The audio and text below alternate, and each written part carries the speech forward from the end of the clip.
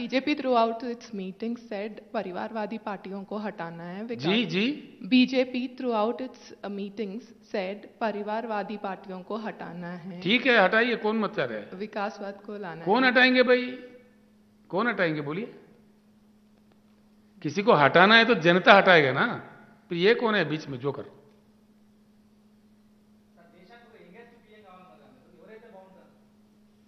నువ్వు చెప్పాలి ఇక నేనేం చెప్పాలి నువ్వు ప్రపోజ్ చేయి నేను దాన్ని చెప్ ప్రచారం చేస్తా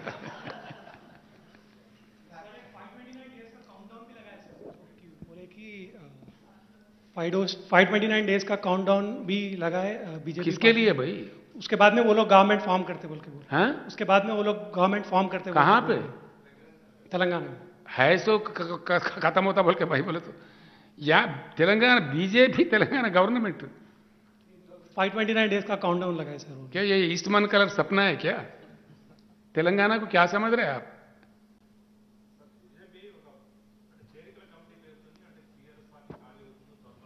అది ఏముందో ఎవడో నెత్తి మాసి కూడా పది మంది పోతే పోతారు దాన్ని భయపడతామే గాసారం బాగానే ఎవడు ఉంటే పోతే పోతాడు ఏం పెద్ద ఫరక్ పడుతుంది నాకు అర్థం కాదు అది పెద్ద ఇష్యూ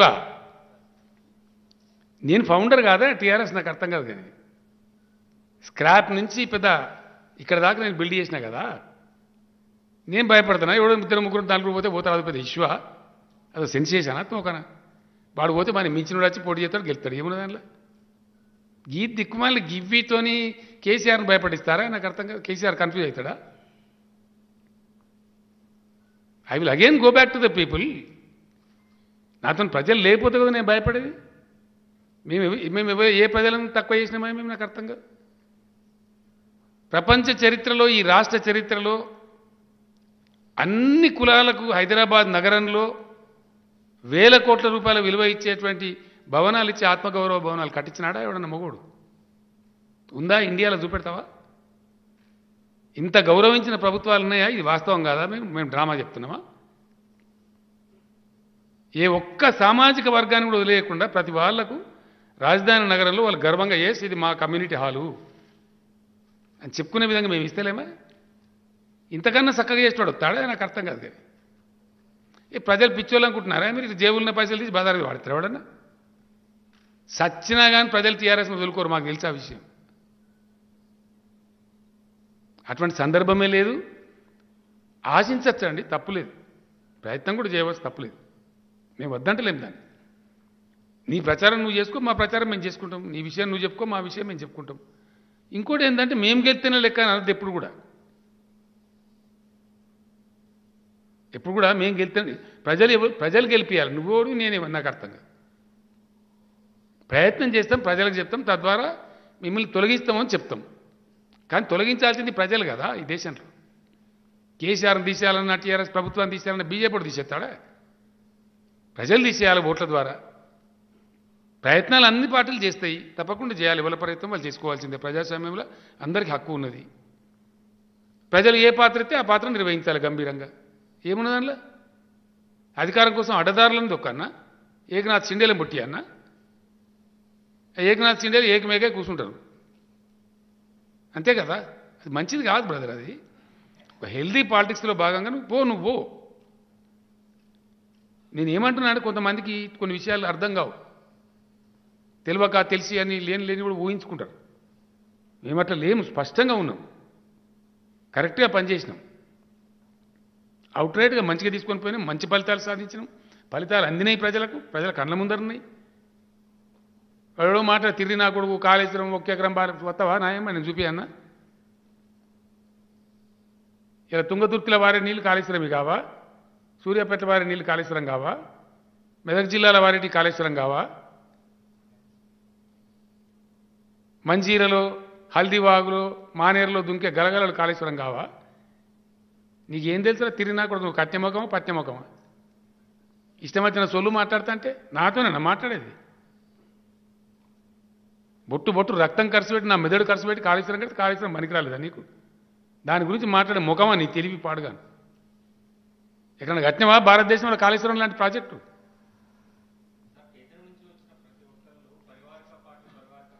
నేనేమంటున్నాను అది ప్రజలు తిరస్కరించాలి బ్రదర్ అది. నేను అనేది ఏంటంటే అది కూడా ఒక వాజమ్మ దద్దమ్మ ఆర్గ్యుమెంట్ తప్ప నిజమైన ఆర్గ్యుమెంట్ కాదు.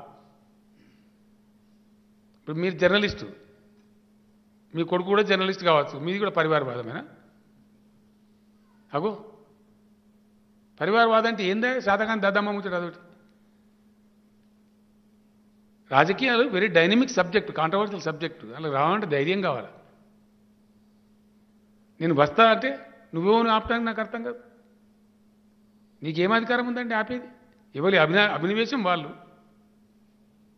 ఆ ఒక ముఖ్యమంత్రి కొడుకో ఒక ముఖ్యమంత్రి బిడ్డనో లేకపోతే ప్రధానమంత్రి బిడ్డనో కేంద్ర మంత్రి బిడ్డనో ఒక అడ్వాంటేజ్ ఉంటుంది. ఏంది? పరిచయం ఈజీ అవుతుంది పది మంది వెళ్తారు మొదటిసారి గెలుతాడు మంచిగా పని చేయకపోతే ఆనే పెడతాడు తట్టాడు. మళ్ళీ గెలుతాడా ప్రజల మననం ఉండాలి కదా. ఒకసారి వస్తే ఛాన్సు. తండ్రి పేరు తాత పేరు ముత్తాత పేరు వాడుకోవడానికి అంతవరకు పనిచేస్తుంది నెక్స్ట్ టైం పనిచేస్తుందా నెక్స్ట్ టైం పరీక్ష పెడతారు ప్రజలు నీ పర్ఫార్మెన్స్ చూస్తారు కాబట్టి ఆ పరివారవాదు బొరువారవాదు ఇదంతా పచ్చి అబద్ధాల ముచ్చట. పనికొచ్చే మాట కాదు అది. మళ్ళీ వాళ్ళ దానిలో ఎన్ని పరివారాలని లెక్కలేని పరివారాలని రోజు పెడుతూనే ఉన్నారు. పెడతలేరా రోజు? సోషల్ మీడియాలో చూస్తున్నాం కదా.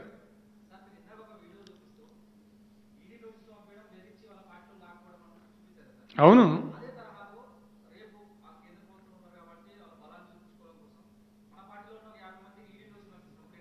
మా దాంట్లో గంత దొంగలు అయితే లేరు నాకు తెలిసి. గ్యారంటీ చెప్తా. ఎస్ నేను గర్వంగా చెప్తున్నా ఈ మాట. నో సారీ నేను ఏమంటున్నా చాలా గర్వంగా చెప్తున్నాను ఈ మాట. మనం ఏం చూసినామండి గతంలో?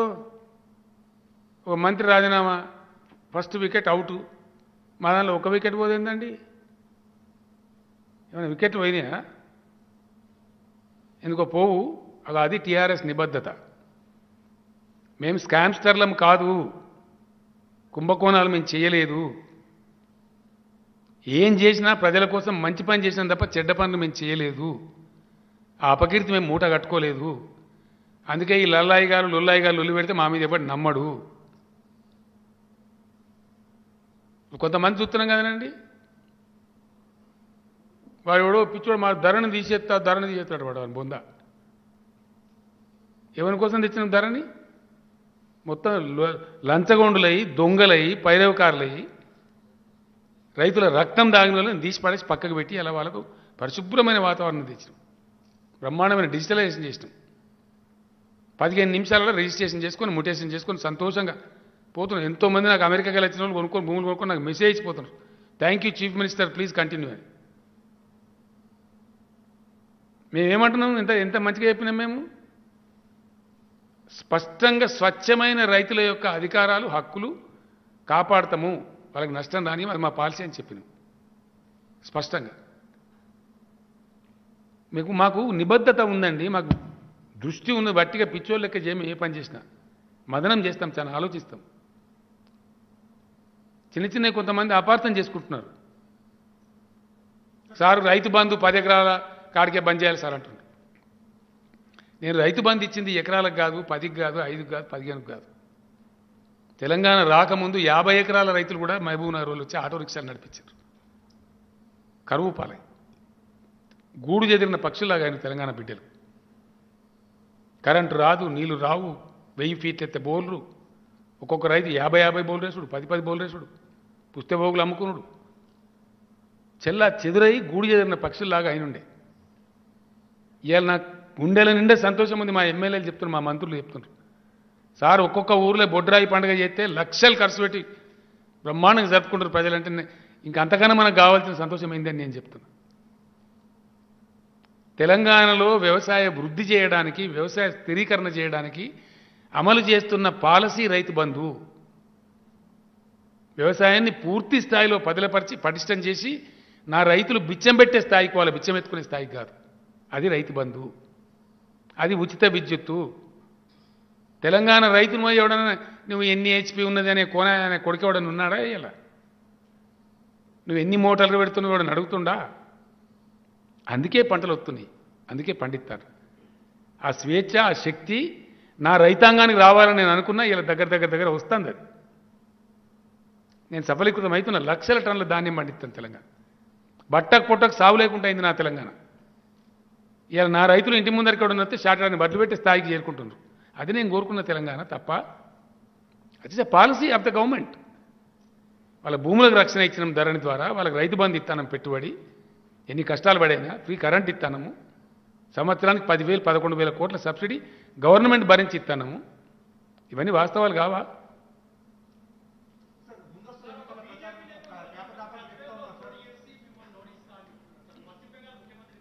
ఎట్లా? బ్రదర్ నేను ఏమంటున్నాను దయచేసి ఓడించేటోళ్ళు గెలిపించేటోళ్ళు ప్రజలు వ్యక్తులు గారు వ్యక్తులు అట్లా అనుకుంటోళ్ళు వెరి వెంగళ ప్రకింద లెక్క పెట్టుకోవాల్సి వస్తుంది. ప్రజాస్వామ్యం ఉంటాడు నేను ఓడిస్తాను మాట్లాడతాడా? మాట్లాడుతున్నా అది అహంకారానికి లేదా అవివేకానికి నిదర్శనం అవుతుంది తెలుగు కాలం ముచ్చట అవుతుందా అది?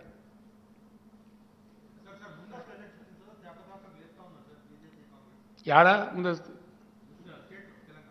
వాళ్ళకి అంత దమ్ముంటే డేట్ డిక్లేర్ చేయమని రాదా? నేనే అసెంబ్లీ రద్దు చేస్తాను నిజంగా అంత దమ్ముంటే రమ్మను. రాహుల్ యు మీడియేట్ ఎందుకు ఆ పనికి మేలని నాకు అర్థం కాదు. ఇవి- ఇవన్నీ వాదనల కిందకి వస్తాయా? ఇవన్నీ ఇవి ఆర్గ్యుమెంట్సా ఇవి. గీ శిలర మాటలతో కేసీఆర్ని కొడతారా? నాకు అర్థం కాదు. ఈ దిక్కుమాలిన ఆరోచకి ఆరోపణలు ఈ చిల్లర ముచ్చట్లు ఈ కాయగూరకుడు మాటలు గివేనా ఈ వీటితో మేము కేసీఆర్ని దెబ్బతీసి మేము గిట్లా గింత గింత కొరితే ఆలోచన ఉంటుంది. గింత కురుస. మంచిది కాదు బ్రదర్ అది. ఇవాళ మంచిగా పనిచేసినాం తప్పకుండా మంచి ఫలితాలు వచ్చినాయి ప్రజలు సంతోషంగా ఉన్నారు. అన్ని వర్గాలు సంతోషంగా ఉన్నారు.